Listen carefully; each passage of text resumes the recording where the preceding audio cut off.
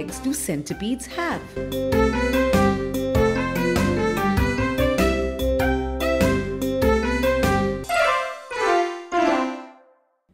Elephant, be careful while walking.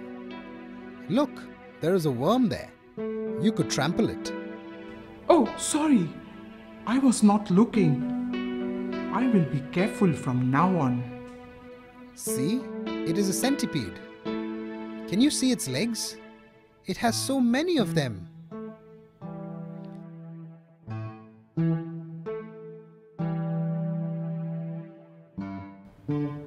You know, you should not touch a centipede.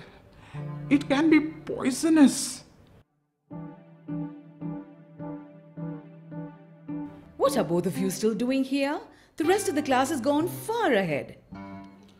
Professor, look at the centipede.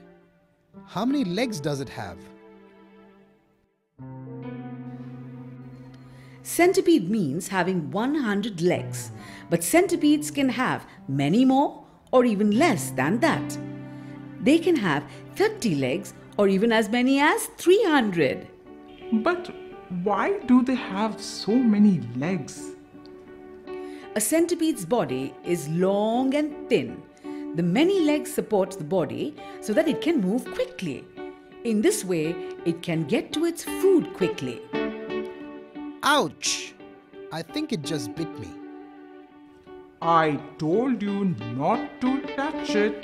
Calm down. Tiger, come with me. We will get the bite examined and put a band aid on it. Everybody, please stay together. Today we're going to learn more about trees. Who can tell me why we need trees? Trees provide us shade on a hot day like today.